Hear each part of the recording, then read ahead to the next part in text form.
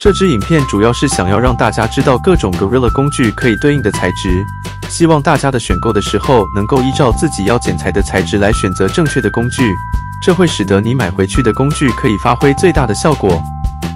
首先是剪纸板，一般人最常用的是这种多功能剪刀，它可以给我们最大的方便地方，就是像这样可以剪纸板剪得相当漂亮。而相对于这种多功能剪刀，铁皮剪能不能剪？其实是可以，但是因为它的刃口本来就没有设计的这么长，所以它今天剪下去也没有那么方便使用。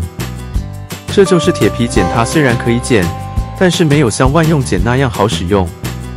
那其他的这些剪钳类的也是可以剪，但是也是一样，因为它的使用方式并不是像剪刀的设计是交错的，剪下去虽然可以说剪得断，但是也没有那么的好用。那这部分是纸板的剪裁。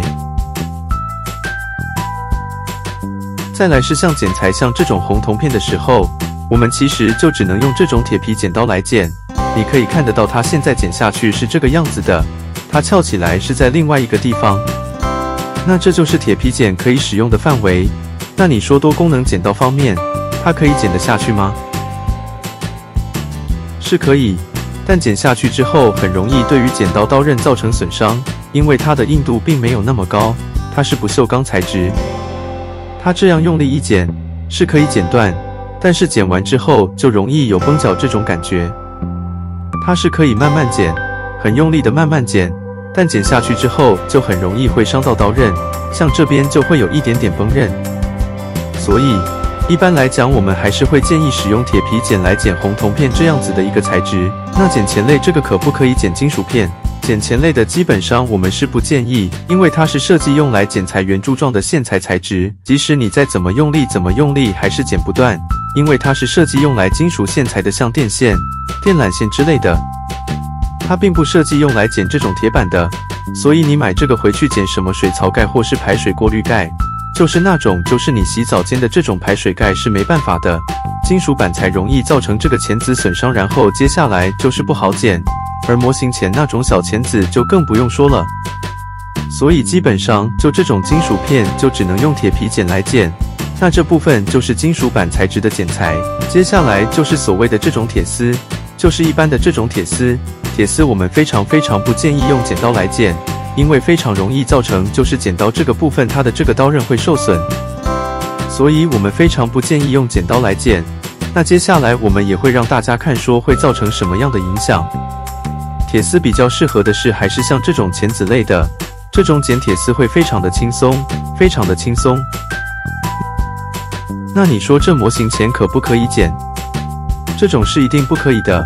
我们最后介绍并且测试给大家看看为什么不可以，主要也是因为它会整个崩刃。也许有人觉得它的不是硬度比较高吗？但是它因为刀刃很薄。所以只能使用在塑胶件上面。塑胶件部分，我们以这个塑胶件来做例子。剪塑胶件为什么一定要用这种小钳子剪？是因为当这种大钳子一剪下去，虽然说可以剪得断，但当你看到它的切面，就会发现它白掉了，而且会受到很大的挤压，而剪下去的切口也会非常的不漂亮。因为它这边的刃口是做有倒角的，就必须要用小钳子。小钳子它就可以变得非常的漂亮。可以听到声音是非常的清脆，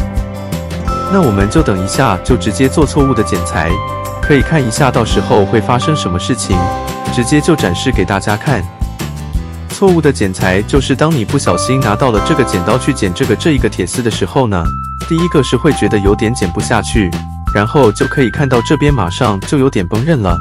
虽然说它这个可以剪得断。但其实它马上这边就会有一点点崩刃，就更不用说其他的材质。那这边也是直接拿多功能剪刀去剪，是剪得断，但是剪完之后，它这个地方马上就会有一些崩刃。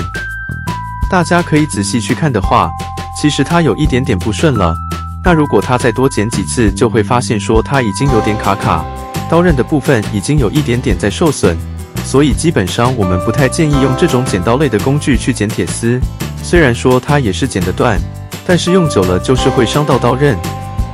所以我们不是很建议做这样的事情。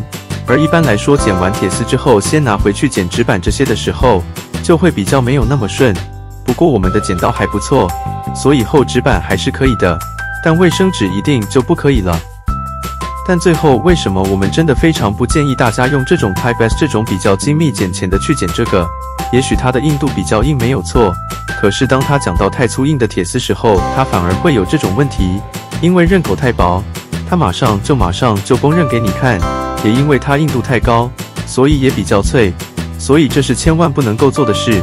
拿这种模型的钳子去剪这种铁丝就是错误的行为。就算你用双刃钳，其实我们也不太建议。它一剪，